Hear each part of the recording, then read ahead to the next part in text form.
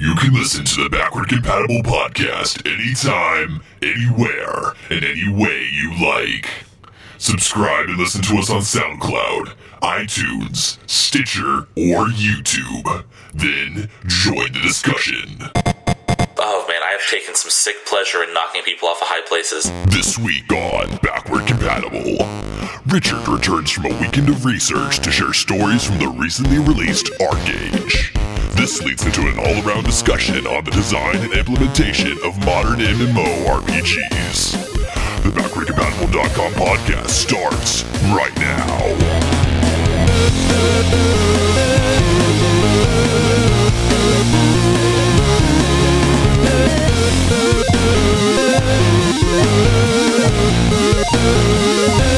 Thank you.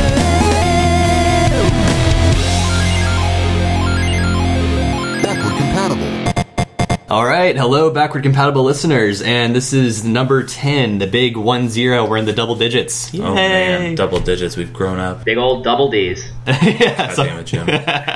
and you might have noticed you heard the uh, the voice of Richard. It's been uh, two weeks now, but I'm alive. I'm here. R- Richard is alive. He's been um, playing ArcheAge, the MMO, for uh, research project. His Now, big before you guys start hurling insults at me, it's it's for my master's It's- thesis. it's for his master's so thesis. Back the fuck off. yeah, no, but uh, yes, actually, that that uh, sorry, go ahead, Jim. I was gonna say is it is it is ArcAge. It's not ArchAge. yeah, it's ArcAge. Okay. Mm-hmm. Yeah, Because I've heard it Jim both is ways. still so I'm- stranded in Houston. I'm. So Sorry, what was It's, that? it's I said you're still stranded in Houston, so we're having to use Google Hangouts to record this podcast. Yep, yep. It's worked pretty well though for the last couple of weeks. Yeah. Um, we had uh, him on with Ben last time, and then before that it was just me and Jim. So it's been going pretty well.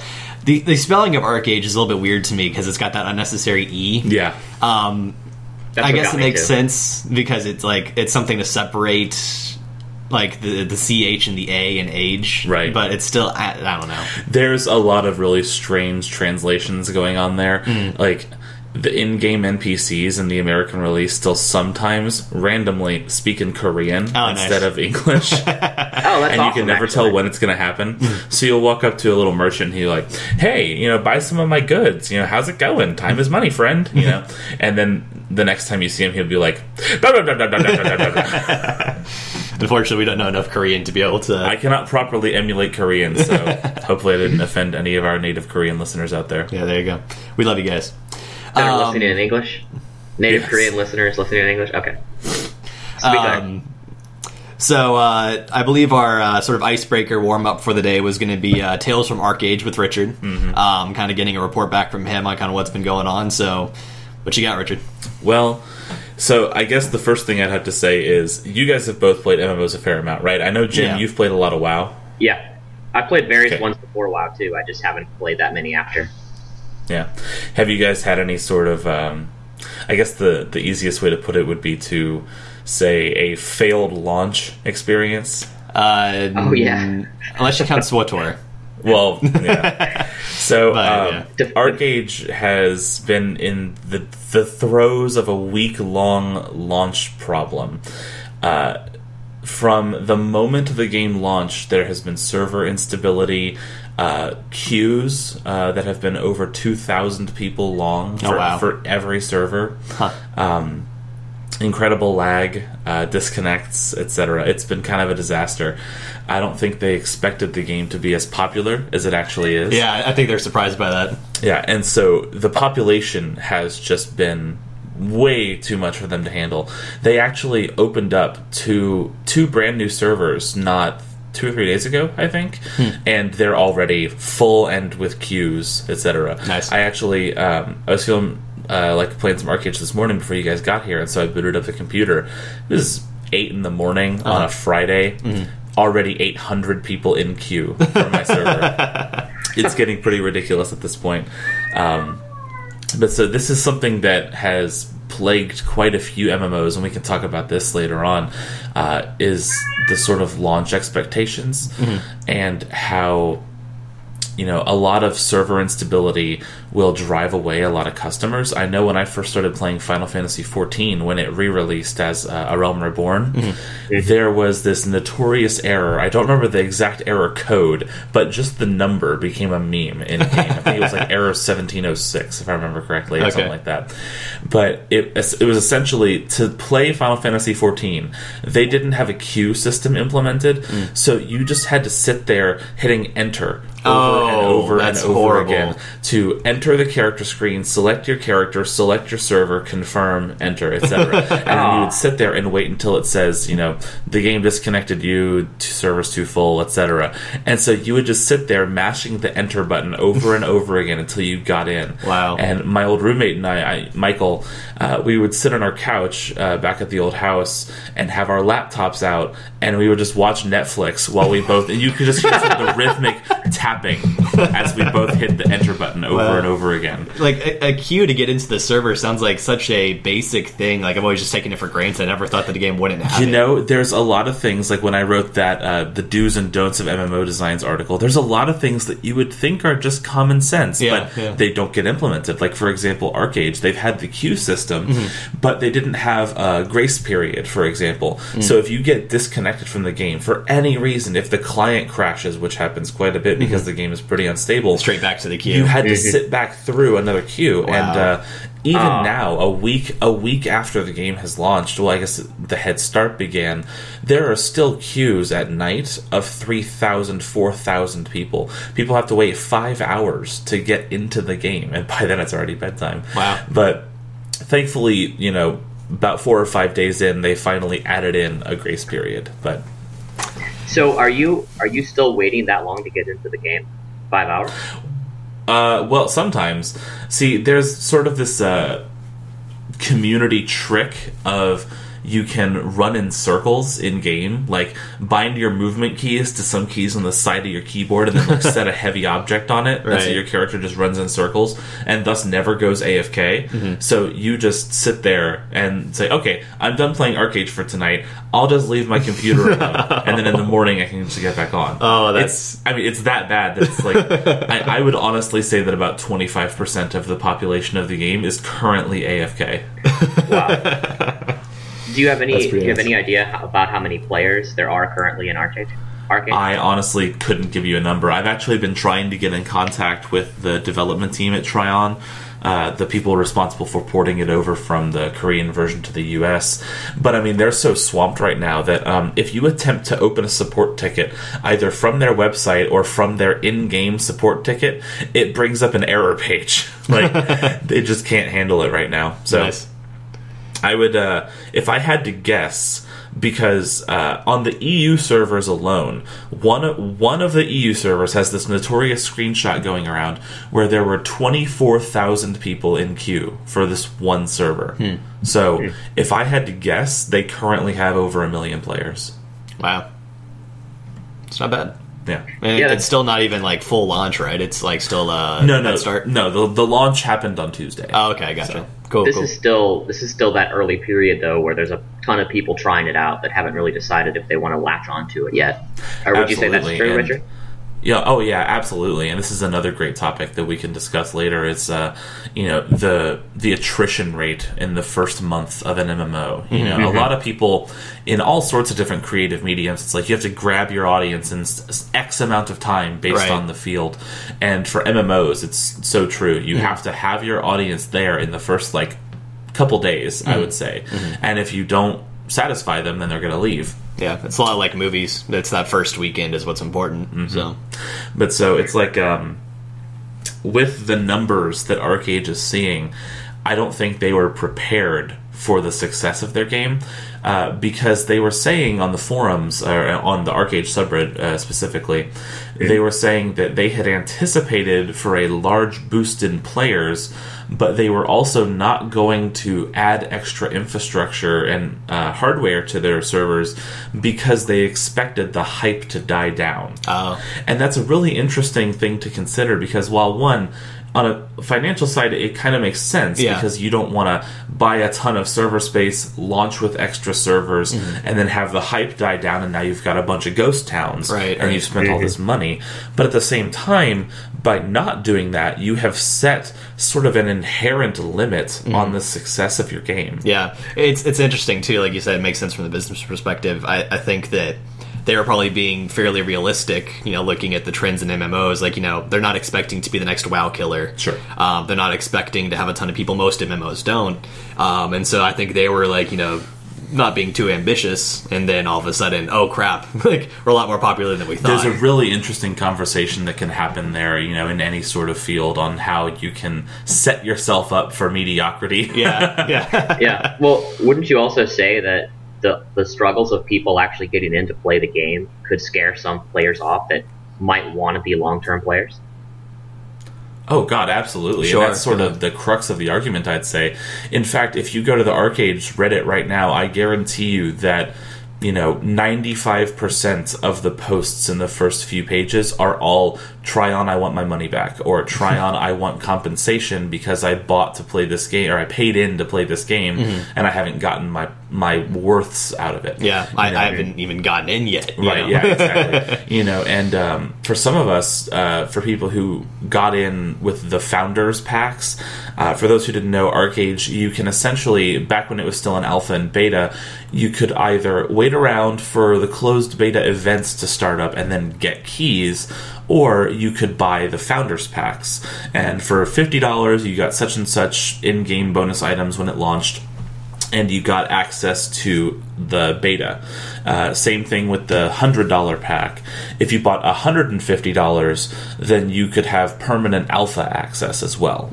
Um, so a lot of these people really shelled out a lot of money to get involved in this game, and uh, then on launch day they were. Uh, they were unhappy with what was going on Oh, for sure. to say the least. there has been, I I wouldn't say an unparalleled amount of bitching at the developers, but man, it, it's pretty brutal on the mm. Reddit right now. Mm. So, so you would say standard for an MMO at launch? Yeah, pretty much. Pretty much. Yeah, yeah. MMOs have some pretty toxic communities, I will admit. Mm-hmm. Um, so how's the game itself been for whatever time you have been able to get in? Flawless. Flawless. It was incredible. That, that's strong. Um, so, have either of you played Star Wars Galaxies? no. Uh, I've heard a yes, I did it, actually. it's pretty much Star Wars Galaxies made into a 2014 MMO. Hmm. Uh, it's got everything that you could want in like the old school world PvP. You can even kill your same faction as Mm-hmm. Oh, wow. Mm-hmm. long as the zone isn't at peace. Um, There's high seas piracy. Mm-hmm. You know, you uh, can just roam around the world and just steal shit from everybody. It's Mm-hmm. phenomenal. Uh, So- and what's that? I was just gonna, I was gonna say, would you describe it sort of as like a Wild West sort of community atmosphere? Absolutely. Um, that's a really great uh, comparison to make. You know, in fact, uh, last night before I logged off, I did what's called uh, planting a secret farm. Uh, for those who don't know, in ArcheAge, they essentially have like a sort of Facebook game system going where you have labor points that regenerate over time, and you can use those to plant crops and trees and uh, do crafting and things like that and players own non-instanced land. Like the actual game real estate you can plot your uh, house down on top of. Or your farms or whatnot. And if you grow crops on your farm they're protected and other players can't steal them as long as you pay the taxes on your farm each week. Um, but that's not stopping you from planting crops and trees and farm animals, etc., anywhere in the world you want. Um, in fact, one of the most, I mean, just awe-inspiring things. That, sorry, I'm feeling a bit sick today.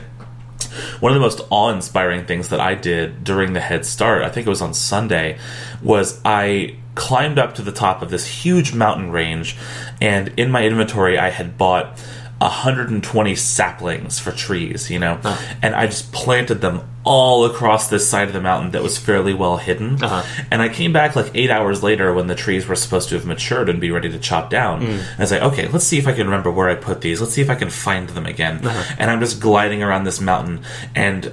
I realize that this forest that's like it looks like an in-game developer made forest is actually the crops that I planted. Uh-huh. Oh, nice. You know, and I essentially terraformed this mountain. It's like ridiculous. That's pretty awesome. Um, I heard there's some issues with uh, bullying and stuff too. Um, Oh, if God, you're yeah. if you're like out in the wild and trying to do that sort of stuff. Yeah, well, so with this secret farming comes the fact that your crops aren't protected. Mm-hmm. So uh, whenever your crops mature, um, you and anybody else is able to harvest them. Uh-huh. So it's actually kind of like a profession in game to hunt down secret farms Hmm. uh, and then steal everybody's crops because that way you spend significantly less amounts of resources and labor Mm-hmm. than the person who would originally have harvested it, and you make a ton of money. Not to mention you get to grief somebody, and people love griefing. Uh-huh. Yeah. uh, sort of the the motto of ArcheAge is you know. PvP. Like that's all the game is about. Um, I heard like in one of the articles that you uh, posted elsewhere. Um, someone was talking about some of the griefing that was happening with uh, their farm, and it sounded to me like um, they were able to like form a circle and trap someone. Is there like is there not an ability to pass through other players? No, there is player collision. Nice. Yeah. That's huge. Like that's a huge like decision for an MMO. Yeah. Oh, so the, so I- you can basically block people off in narrow corridors. Which I, I like, given the nature of this game being kind of this political sort of beast in the sense Yeah. that you know you have towns and you can enforce things, and part of you know protecting something is you know keeping people out of things. Yep, uh, I've got I've got two really interesting stories that I can share about that. Uh, one of which is sort of a short one, but uh, hilarious nonetheless. Uh, in this game, uh, in when transporting certain goods called trade packs, you move ridiculously slow. They have special mounts in the games, donkeys that you're supposed to get on to be able to more easily transport these across the land, but you still move absurdly slow and uh, there are caravans that travel between zone lines on a regular interval, kind of like the blimps in World of Warcraft or zeppelins in World of Warcraft. All right.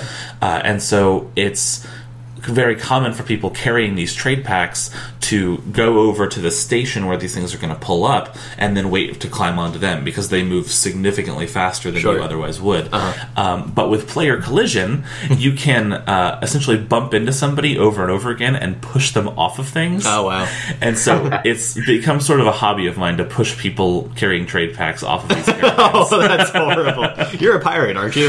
Well, I'm going to be eventually. Okay. Yes, when uh, when the guild that I'm has enough resources to turn pirate, yeah, we're gonna be uh, rebelling against the main factions. Very nice. Um, I, I'm kind of intrigued too. So you mentioned that your crops are protected as long as you're in a town, um, and well, no, as long as you own the property, you own the property. Um, so that just means that if you own the property, nobody can right click and harvest. Right, Or, or is it? So I guess it's not possible for your property to be raided by someone. Correct. Yeah. Okay. Unless if if you pay the taxes on your property, then it is safe. Mm-hmm. Okay. Yeah. I guess that's a nice incentive to want to pay taxes then. Yeah, absolutely. Um, although I could also see how it'd be that you pay taxes, like basically protection money to the lord of the town to make sure that they're always guards posted who can fight people off. Well, know? and that sort of goes into the political aspect of things. Um, you know, the game really hoists a lot of social control onto the players. Uh-huh. And so players have notoriously formed these organizations. Uh, the guild that I'm in, Outcry, on the Allo server, they've created what they call the Homeowners Association. and for certain areas in game, uh, they allow you to plant your houses there and your farms there, but if you're going to actually use them and be there, you have to pay them. You you owe them a weekly protection payment, you know, Huh. mafia style. and if you don't pay it, we have a website that says you didn't pay it, and you'll never get out of your house alive. so so speaking of player player on player death um, is is there no sort of reward for it are you able to like say mug someone and take uh, their belongings or any part of their belongings or is it just for Well- killing purposes So there's a, there are different benefits uh, in in the sort of instant gratification direct benefits. If you kill an enemy of the opposing faction, you get honor points, uh, and so you can spend those as sort of like an in-game currency to buy different things. Um, Otherwise, well, you can also, if the enemy is carrying a trade pack, the type of good that I mentioned earlier, and you kill them, they drop the trade pack. So you can steal their trade goods, similar to Eve, you know, with the real transportation of goods. right. oh right. Um, okay that's so cool the most lucrative uh, method of gaining either money or crafting reagents in this game is to craft trade packs and you know sail across the ocean to some dangerous places and take these goods to these you know sort of like uh, hostile civilizations. So one of the routes is to go to the main pirate island essentially. Huh. and if you can survive that trip with your trade pack in stow then you get a pretty big payoff for doing so. So it, it one of the main um, goals of the pirate faction when players defect to the pirates is to essentially hunt the seas for these people bringing trade packs. Huh, nice. So, uh, and then for the So- second story I mentioned, oh, go ahead, Jim. Oh, I was just going to ask because since you mentioned you mentioned pirates uh, prominently, are they always uh, considered sort of like the antithesis to the government forces, to the legal forces, or or there is, is there a concept of privateers, like uh, government funded Well- piracy? So, um, in in terms of the game's social structure, the pirates themselves are almost always considered the bad guys because it's essentially a game design element that allows players to be the difficulty factor of the mm-hmm. game. That being said, there are absolutely privateers, mercenaries, etc., very prominently established in the game. Certain guilds are actually, you know, think of like to relate it to like Game of Thrones, you know, the mm-hmm. Golden Company. Mm-hmm. You know, this is like a well-known organization that you can hire sellswords from. Uh-huh. Similarly, in the game, there are a couple of different guilds that pretty much their sole purpose is to be paid for protection. Hmm. So if you're going to go sail out on the high seas and you've got your merchant ships or your trade vessels or whatever, they'll come sailing with you on a galleon as protection with like 20 cannons, you know, Oh, and just they'll sort of protect you from the pirates. Or, or just other players. Are they are they usually enough to actually uh, be effective at that? Or I haven't seen that in launched yet, but Okay. from what I've heard in alpha and beta, yeah, uh, typically these people like to ride on their own reputation. So um, if somebody messes with your client or they mess with your farmland or anything, mm-hmm. people respond pretty severely uh, mm. about things like this. Because in a very politically driven game like ArcheAge, mm-hmm. reputation is everything. Hmm. And I think then that it, it's quite fitting that the setting is kind of this medieval fantasy, um, because that was basically medieval times. So absolutely. And so, you know, I mentioned earlier that I have two stories, and the second one is actually both related to this and another benefit of being able to kill players, especially a benefit to killing your own faction. There's this. Um, this mine that's used very very frequently in ArcheAge, and it's one of the most trafficked mines around the like mid levels, like 30s. And uh, we decided one day that we wanted to have this mine be ours, like mm-hmm. put our name on it. Mm-hmm. And so what we did was we had a group of like 10 people go to this mine and we just swept through it from front to back and just murdered everybody in the mine, regardless if they were our own faction. Uh-huh. And then we would rotate having certain people in our guild be back in the mine, like, you know, harvesting the ore and mining and whatnot. Uh-huh. And the other people would just be positioned, you know, sort of strong arming at the entrance. Right, right. And anybody who tried to walk up to the mine, we killed them on sight. Wow. Uh, so we essentially, and then we would say in general chat and shout it out, you know, this is now Outcry's mine. We own this place. You know? and then there would be some people that would like, um, like, I just want to get a quest done in there, you know, because there are some quests, uh, quest NPCs in there that you have to get to. Right. And it's like, well, if you want a quest in there, you have to pay us, you know, five to, five gold, ten gold. Oh, I love et it. I love it. You know, and uh, it quickly became like a sort of server wide attention. And within half an hour of us doing this, Mm-hmm. there were about 30 or 40 people gathered up outside the mine, like ready to charge in, you know, take us down. So it's like, okay, all right, all right, it's time for us to back out. That's Wow. hilarious. So, so uh, it, it sounds to me like um, ArcheAge really encourages players to be real dicks to one another. Seems Yeah. like you get a lot of benefit from doing so. Well, see, that's the interesting thing, and that's actually why I'm studying this game for my master's thesis. Is I want to know if if that's true, if it encourages people to be dicks, or just by giving players that ability, what does it do to the Right. community? And you know, because simultaneously, yeah, I've seen things like that where you know we, the guild who is intending to go pirate in two weeks, you know, we'll do things like that because we're dicks. But um, I also saw during the head start when the game first began, uh, there were several notorious choke points for certain quests. Uh, one of them was like you had to loot an item on a table and then you had to wait 10 seconds for the item to respawn for the next person to get it. So when I got there, it was a huge clusterfuck around this table.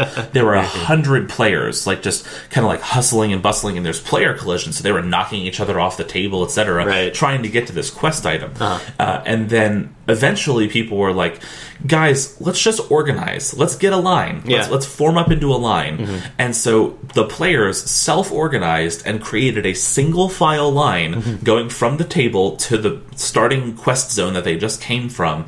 And every time a new player got to this new zone, they were informed about the line process. They waited in line patiently. And anybody who did step out of order and ran forward to try and steal it instead Get- of gets- waiting in line gets killed. yeah, they got either blocked off physically or you know, etc. Nice.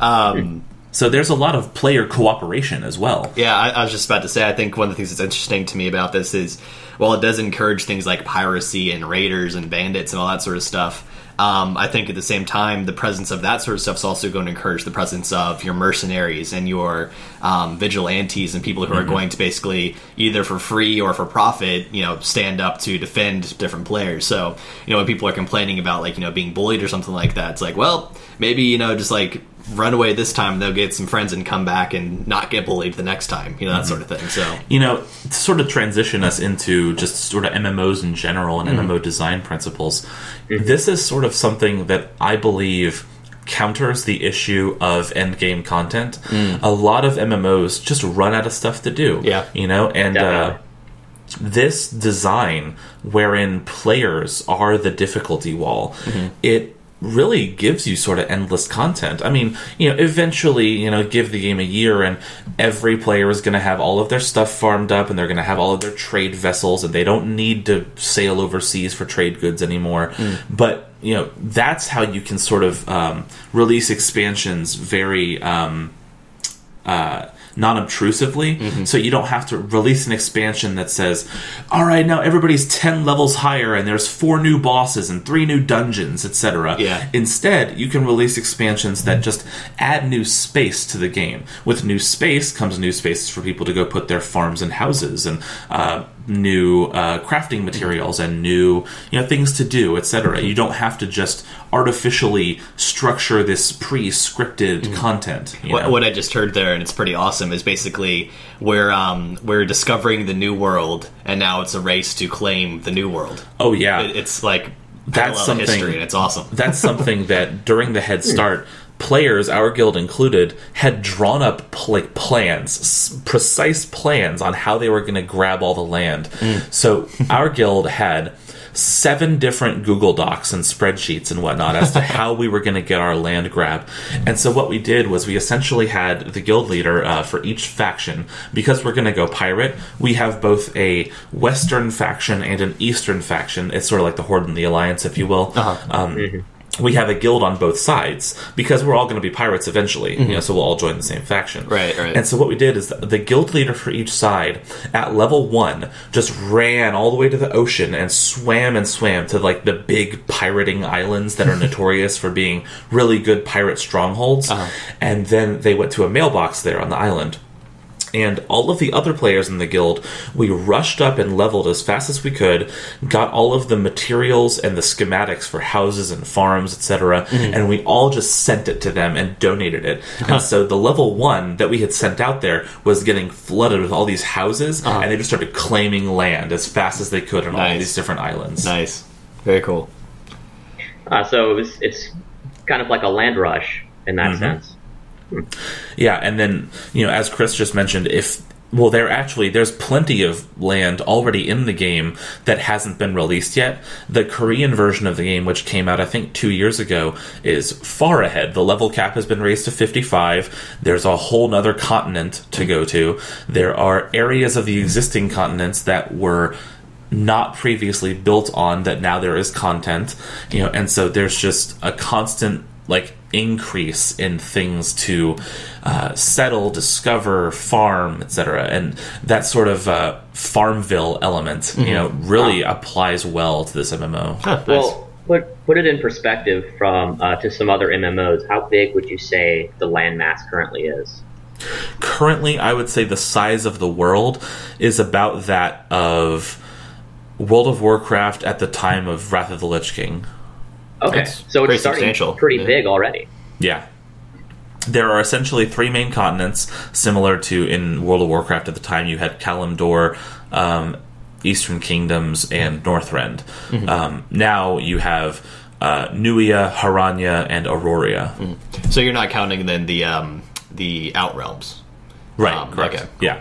I'm talking about in the consistent. Well, I guess. and, and the globe of Azeroth. The yeah, planet. essentially. Yeah. It's really hard to compare because Mm-hmm. one of the really interesting things about uh, ArcheAge is there are no loading screens. This game is not instanced. Oh, nice. The whole world is open. So you can start at one corner and hit the auto run button, and you will eventually circle the globe and come back to where you were before. nice. That's pretty cool. Assuming you don't get knocked off a cliff by Richard. right, yeah. I have, oh man, I have taken some sick pleasure in knocking people off of high places, I tell you.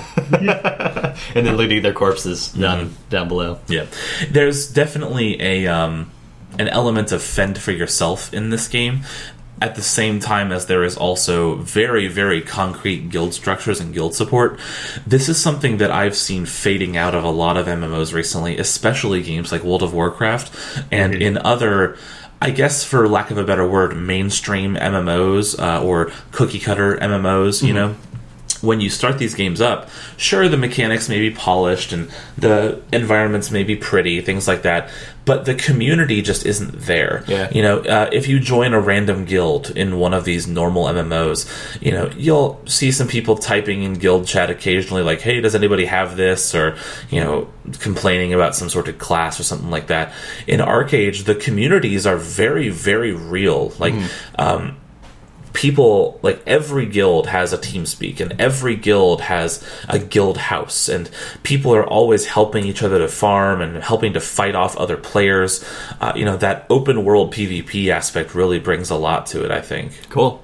Very nice. Yeah, I, that's what it sounds like to me. That people are, are forming together in these guilds um, out of necessity for their own survival. Yeah, and that's something that I think has really weakened a lot of MMOs of late is they they tackle way too much of the gameplay and not enough of the social aspects. Mm. You know, and I'm not saying that every MMO has to be a new Second Life, you know, you don't have to have your players role playing, mm-hmm. but you have to give them a reason to be in the game space with other people. Right. This was my issue with WildStar. When I played WildStar, I felt like, well, all of these things that I'm doing I can just do them by myself. Mm-hmm. Even the raid bosses and the end game dungeons, while mm-hmm. yes, I cannot beat a raid boss by myself, it's just beating a mob. Mm-hmm. It's just killing a scripted encounter, you know, and while yeah, this has been a very rewarding formula in the past, especially in World of Warcraft, there has there comes a time where you have to change. You know, you can't just keep on iterating on the same concept. Mm-hmm. So this system of social control and social design that places other players as the crux of the difficulty, mm-hmm.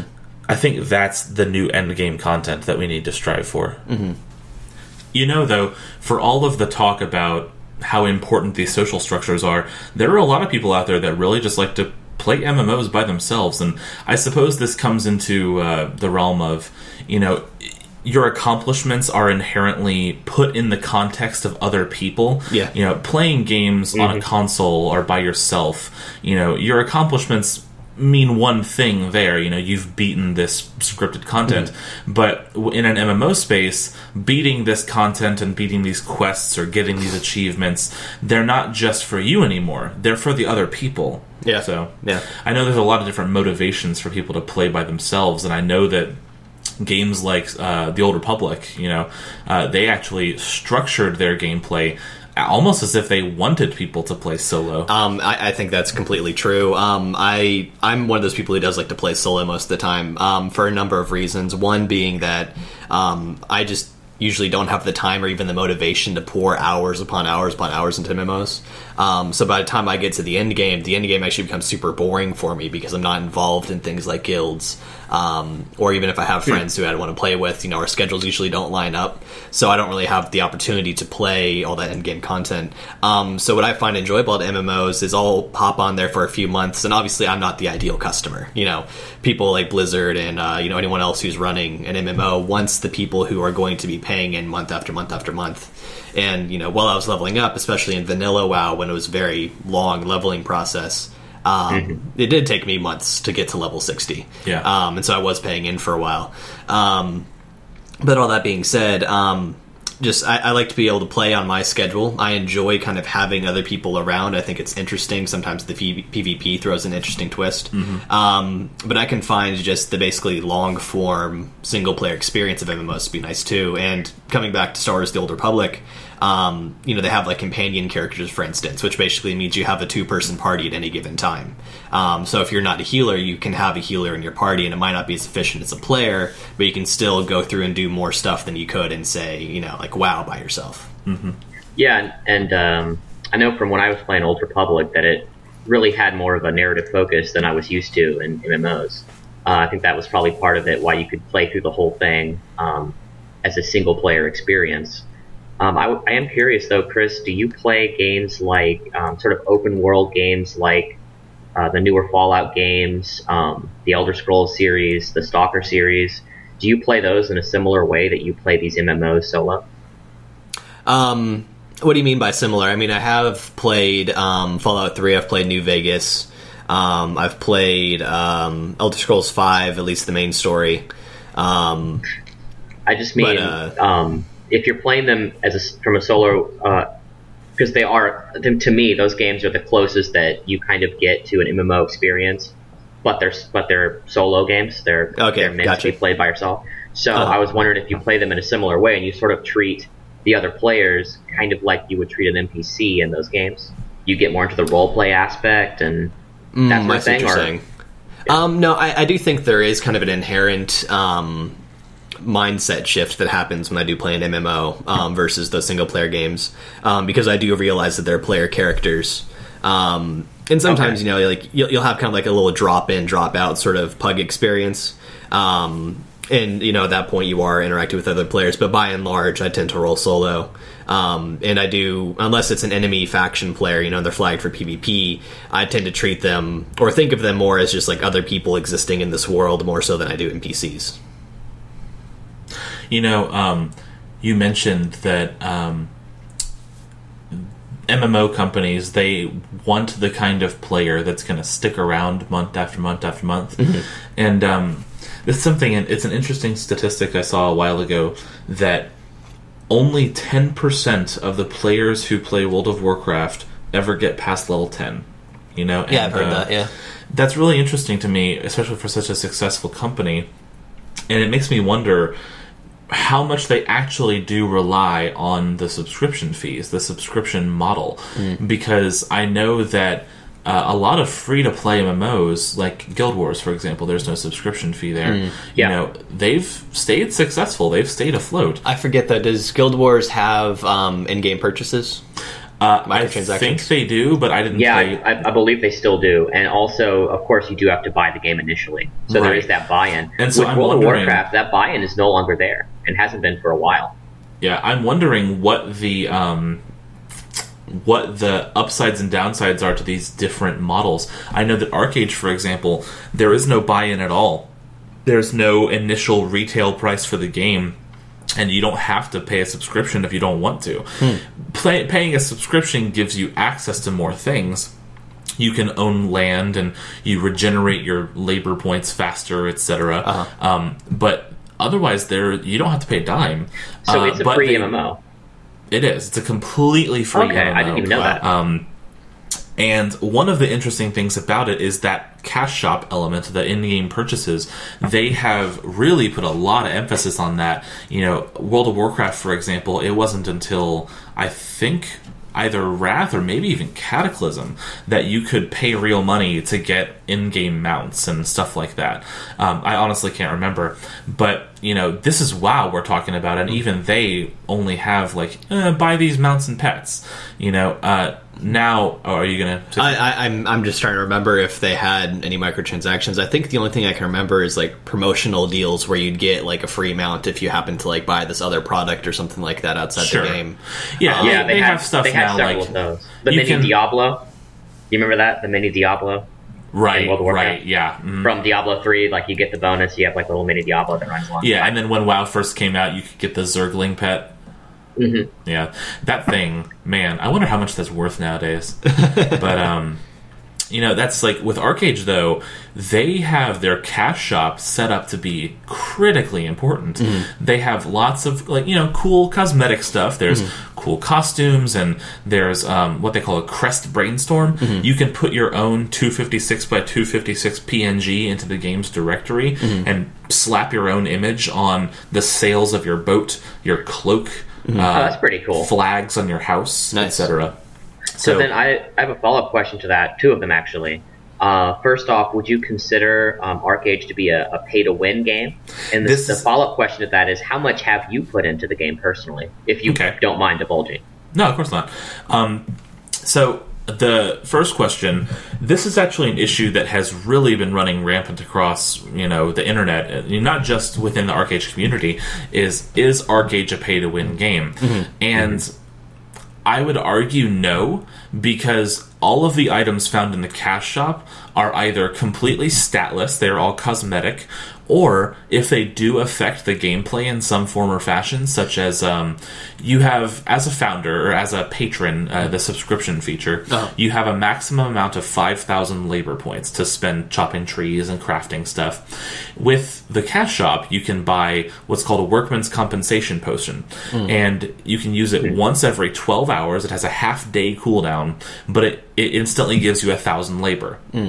So, hmm. otherwise, you regenerate 10 labor every 5 minutes. Mm-hmm. That means for 24 hours, if you stay logged in for 24 hours, you would regenerate, I think it's 2,400 something labor. Hmm. So, essentially, chugging one of these potions gives you a little less than half of a day's normal labor regeneration. Right. Um, so, in a sense, I suppose you could call that pay to win because you can farm more than other people, but you can't farm better than other people. Right. And to actually really utilize all of that labor, you would have to be planting secret farms anyway. You can't you can't use all of that labor just you know harvesting your own farm and crafting the things that you have. Right. Uh, to actually utilize all of that labor, you have to spend hours just running around mining nodes and having people give you goods. You know, so I would say that. ArcheAge has successfully avoided being pay to win, but it does come pretty precariously close. Yeah, it reminds, it reminds me a little bit of um, the Old Republic when they went free to play. Um, how uh, it wasn't necessarily free to win, or no, sorry, not free to win, Pay to win. pay to win. Um, it is free to win, uh, but you. Uh, you have to if you're not subscribed there's so many locked features and i actually think it's a little bit ridiculous all the things that are locked like there there are certain like levels of items you can't equip unless you pay like a, a certain license fee. Um, there are uh, like you you have like limited character slots. Like i think when it went free to play and i wasn't playing it very much at that point um, i paid like just a couple of transactions essentially to get all my old characters back so that I could have my full character roster without having to worry about um, uh, paying a subscription fee, essentially. Sure. Um, but then beyond that, like I just sort of refuse to pay for anything else. Like I mean, there's in addition to cosmetic stuff and that sort of deal, um, there was just a ton of like locked features that I think are pretty obnoxious. And Yeah. so you need to balance it pretty well, unless you make people angry. that's something that I think that microtransaction and you know quote unquote free to play games uh, they do it pretty badly. You know, and we talked about this I think on our first or second podcast, and it was like you know Yes, I remember. when you're locking away features from somebody or you're not giving them the full game, Uh-huh. that's not how you do microtransactions, and that's not how you do the pay to win model. Right. I think uh, Extra Credits did an episode on this on YouTube, and it was really, really. Um, pushing for that point is that if you're going to go pay to win or pay to win if you're going to go pay to uh, pay to play Right. you have to give the non-playing players the same game, Mm-hmm. just have the the bonuses be more. Um, I don't. I don't want to say purely cosmetic. Uh, the gist of it is that you just can't keep your players from playing the real game. You can't have a fake game and a real game, right Essentially, and I, I think one of the things that star wars did you know decently well you know among all the things they didn't do quite right was um, you would get experience boosts if you were a subscribed member and so this kind of reminds me a little bit of your uh, labor thing with ArcheAge Mm-hmm. um, where you still can do this stuff if you're not paying but if you are paying you get to do a lot more for free Right. um, for free, quote unquote, because Yeah. you're still subscribed. Um, but in Star Wars, like you know, if you're not paying, you're going to level up slower, and you can buy with money experience boosts, where like for however many hours you get, you know, fifty percent more experience or whatever. Um, but uh, if you're subscribed, you have all those advantages already, and so like you know, you, you basically have the same game for two different people, but you have you know, for the people who are paying, who are subscribing, who are playing a lot, they're going to get a quicker and smoother and you know overall just sort of like more complete feeling experience, even though this game is essentially the same. So, in in uh, Old Republic, though, is there really much of an end game?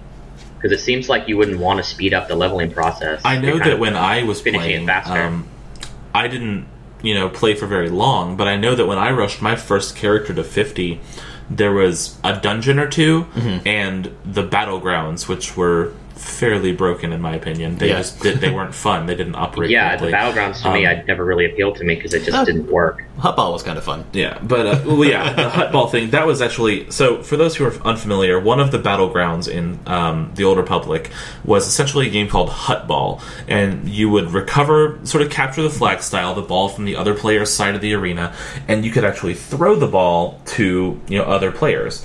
Um, and when I got to 50, I, I, I leveled my character pretty quickly. When I go into an MMO, I kind of go neckbeard mode. you know? so I had a level 50 in the Old Republic in, I think, three or four days. And um, the battleground was just broken. You know, uh, throwing the ball to people, it didn't even work. You know, sometimes you would throw it in the opposite direction or accidentally throw it to an enemy, you know? Uh, If you're trying to use a hotkey, it was tricky. Yeah, Right, yeah. So, um, in terms of endgame content, uh, functioning endgame content, that was something that drove me and, a, from what I understand, a lot of other players away Yep. from the Old Republic. I agree. because I agree. it's it's one of those games that sold itself as you know the scripted encounters type of MMO, Mm-hmm. solo content, fully voice acted, cutscenes, etc. And then they ran out of content, Yeah. which is bad. Um, and then you know before we jump into your impressions, to relate this real quickly to like ArcheAge, for example, Uh-huh. they have a few world bosses to kill and like two dungeons that you can kind of do for good gear, but the gear is quickly outshone by crafted gear. Um, players defeated those bosses within the first like couple of weeks to a month of alpha and beta and probably soon to be launch and the game still thrived perhaps even more so afterwards mm-hmm. because that's just not what the emphasis is placed on in terms of the design mm-hmm. whereas in the old republic i'd say it was. Yeah. Um, mm-hmm. And I mean, you know, again, from the sort of the single player perspective, I enjoyed my time with SWTOR a lot more than I did with WoW. I mean, I had some good times in WoW. I thought it was cool, especially um, once they released Cataclysm. They sort of had more almost like cinematic feeling um, single player experiences, kind of like instanced, um, you know, open world quests, which Right. was kind of cool. Um, the Old Republic, what I liked about it is even when I got to level 50, there were still different um, quest areas I can go to and keep playing out my story. Now you're less incentivized in a way because your main story, quote unquote, the one that goes from level 1 to level 50, is then pretty much done. And it's kind of like the additional adventures of your character. Um, it was kind of interesting, I thought, how the 1 through 50 grind is actually sort of set up like a. Um, uh, a Star Wars trilogy. They even said in the advertising, like, play your own Star Wars trilogy. Um, so I thought that was really neat. I think one of the things that really could have helped um, the Old Republic out quite a bit would have been if, like, you know, sort of to emphasize the single player experience. And, you know, I realize that this might be tricky for a number of reasons, and also because it would reduce playtime, which obviously is um, counterproductive when you're trying to make money off of subscription fees.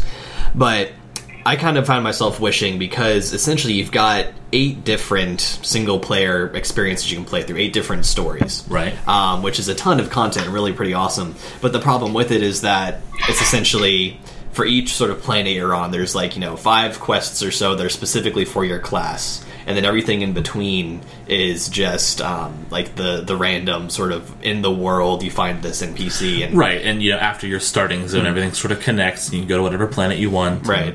And the the first one, maybe two times, you see all those additional quests. Um, it can be interesting because it's kind of like, how do I apply my character to this quest and all that sort of stuff. But then after a while, you start to know like everything that happens and starts to get really boring.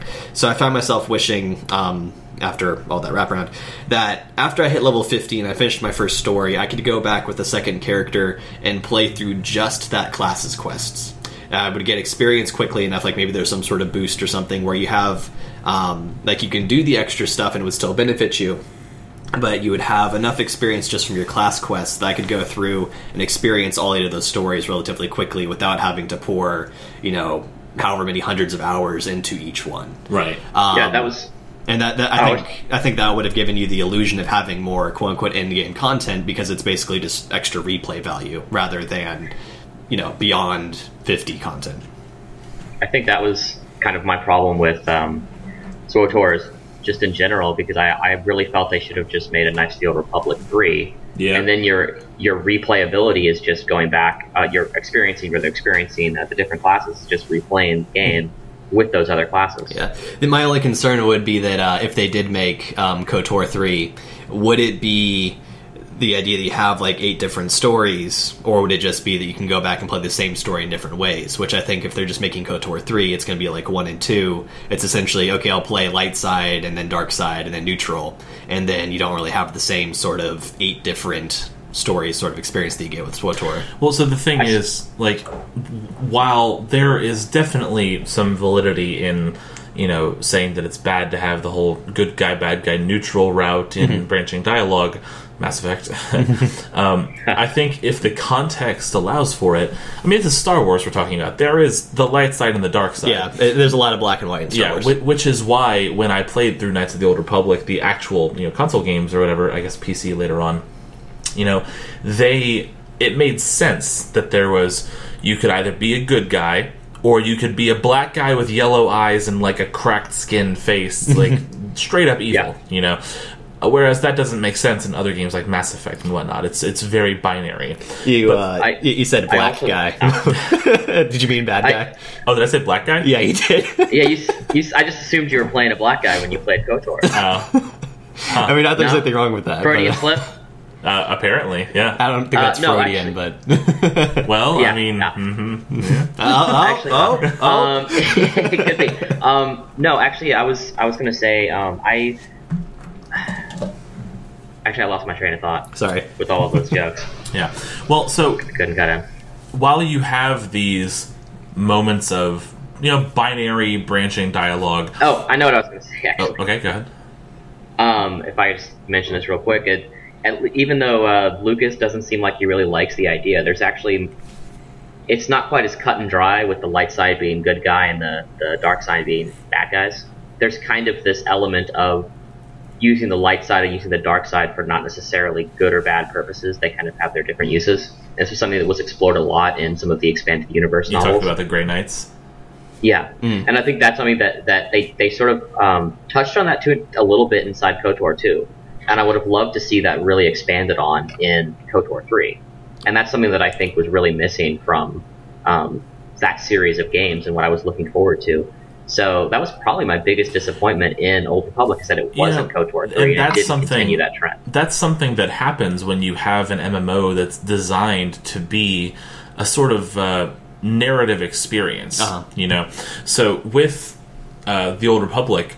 It was a great game. The combat system was fine. The crafting was okay. The PvP was interesting, but there was essentially it was essentially a single player game that ha- was it had online aspects thrown into it. Yeah. You know, so if they had taken the narrative elements and just transplanted that into a single player game, it would have been much better and much more highly re- received. Mm-hmm. If, on the other hand, they had issued some of the player instancing or whatnot, or at least implemented more social constructs, mm-hmm. then I think the game would have been drastically more successful. You know, I tend to agree. Yeah. and so I think Yeah. this is the problem with MMO design, especially in the past decade or so that we've been seeing, is that developers focus by and far exclusively on the mechanics. Mm-hmm. With WildStar, their big selling point that it was, you know, the live action combat, you know, they had different combat and targeting systems, mm-hmm. you know, and it just while yeah, it was entertaining for the first bit. You know, mm-hmm. I had never well, since TERA at least, uh, Yeah. played an MMO that was so run and gun, you know. But then that charm faded. Yeah, the, the it- mechanic it got old. You know, it's like okay, so now I'm doing just what I do in every other MMO. I hit the two button or sometimes three, Yeah. you know, and I do stuff. Yeah. But I- why am I doing it? I think the one action MMO that I actually kind of enjoyed for a long period of time, and it was simple but it worked, was um, Phantasy Star Online, um, where you like attack by hitting your attack button, and you've got like alternate abilities and stuff like that. Um, and it, I, I liked it because it, it sort of worked.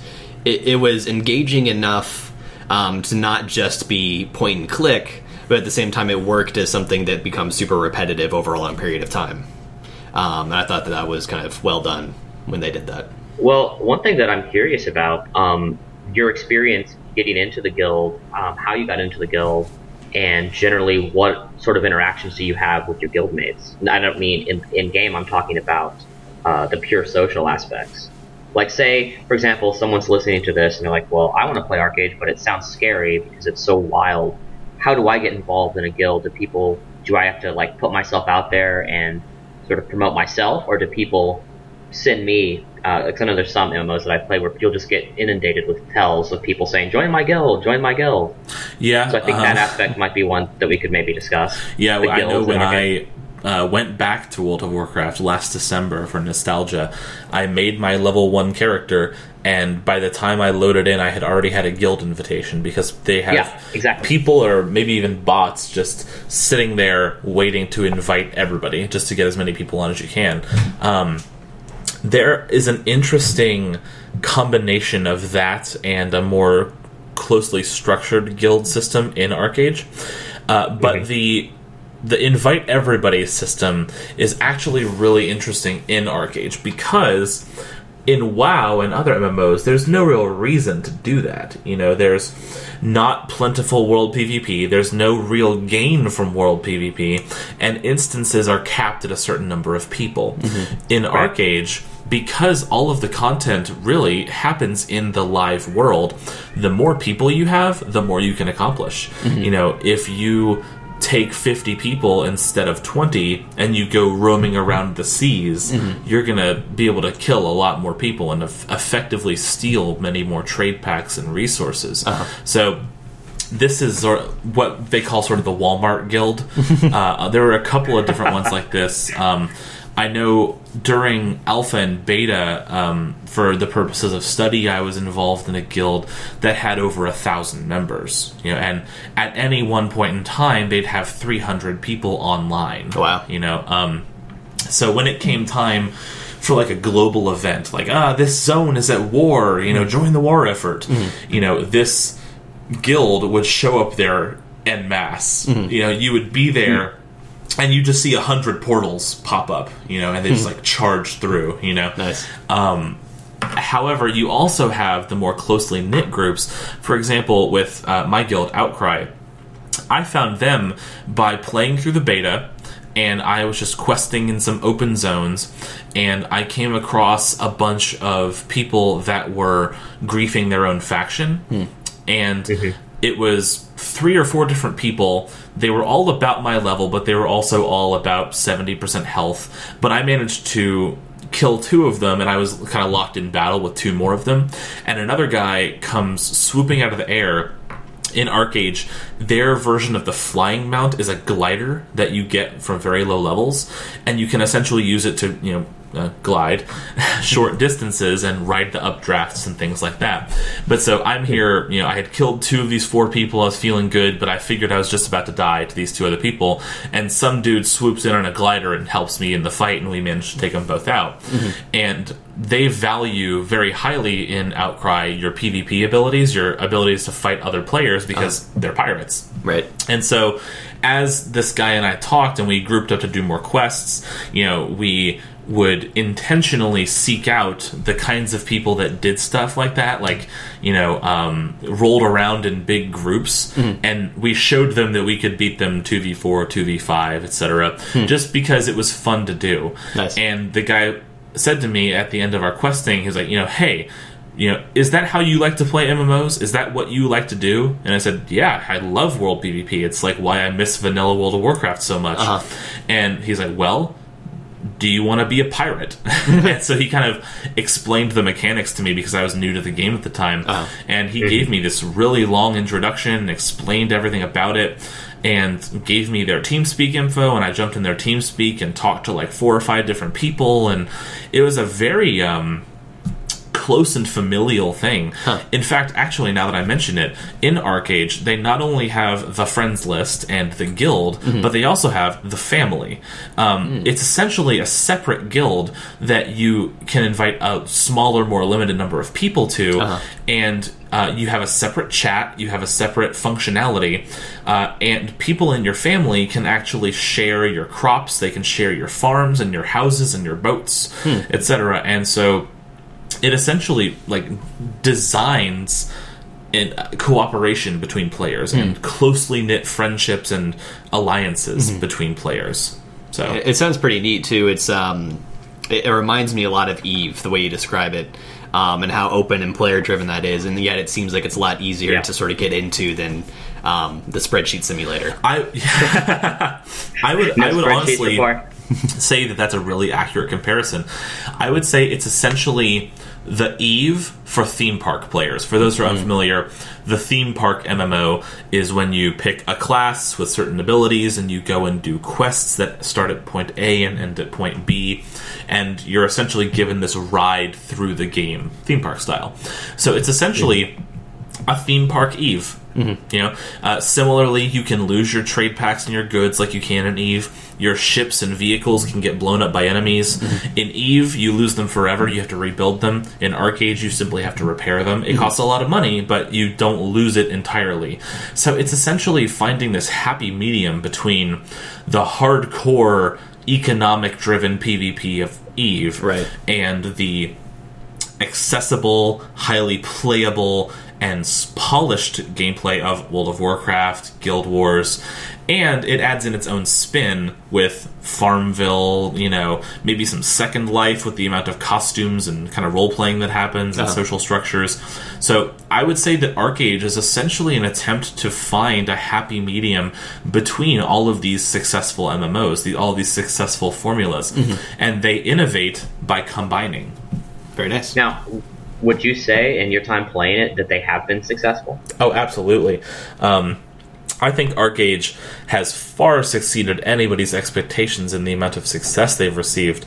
Um, Well, I meant I meant successful in actually uh, combining all of those different genres Oh. to create something interesting and playable. absolutely. Uh, at any point in time, uh, I have difficulty deciding what exactly I want to do.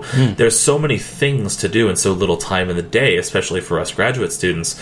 so, you know, when I really want to do something productive, it's like, okay, do I want to go plant a secret farm? Do I want to go hunt down other people's secret farms?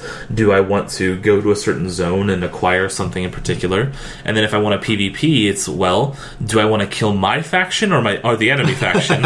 you know, and then do I want to do it by joining up the arena queues and fighting people in the gladiators arena or do I want to go to a certain zone and grief people or do I want to go to the high seas and blow up people's ships with my cannons and you know take a group of friends and raid their ships you know um there's just so many different options that you have, and there's no limiting factor.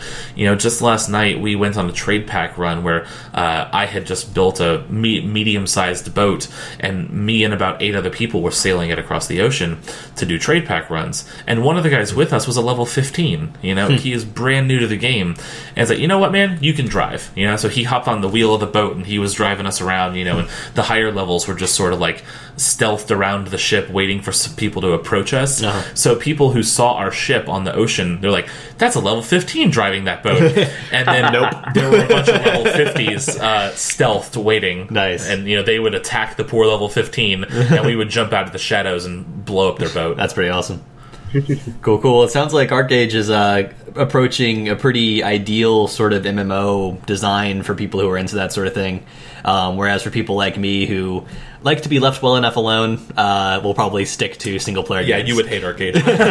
I mean, it's it's one of those games that like like Eve, I'm utterly fascinated by. Um, I find it super interesting, but just not one that I like to play personally. So. Right. I think that's about going to do it for us today. Um, so I'm Chris, I'm Richard. And I'm Jim. and uh, thank you for joining us for our big number 10 backward compatible podcast. And we'll see you guys next time. We want you to join the discussion on our website, backward-compatible.com. You bring a unique perspective, and dialogue makes everyone better. Leave a comment in our podcast section, and if it's good, one of the crew members will respond to it. This time, let us know which MMORPGs you've been playing recently, and what you like and dislike about the experience. Thanks for listening. Until next time, stay compatible.